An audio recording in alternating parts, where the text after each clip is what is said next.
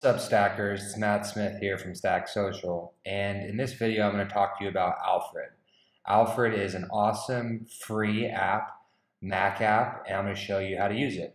So you can go right here and check out alfredapp.com. Now let's dive in and kind of look about how you can use Alfred in your you know day-to-day -day operations.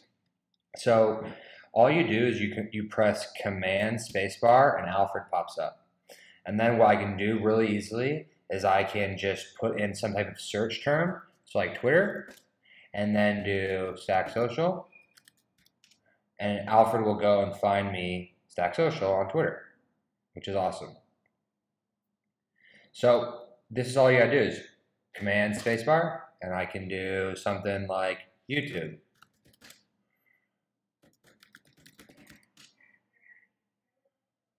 So there you go.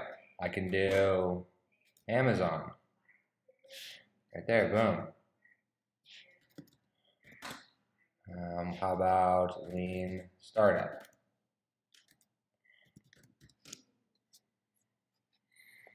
So Alfred is an amazing tool, and this is just cracking the surface of all the cool applications we can do. Um, we can search my computer.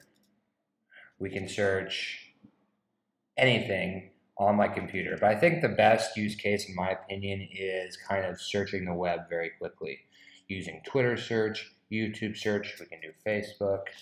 Um,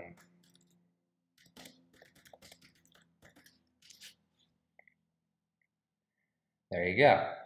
So this is the tutorial that we're going to start doing hopefully every week. Show you guys a really cool Mac app that we enjoy. Hope you guys learned something. I'll see you in the next video.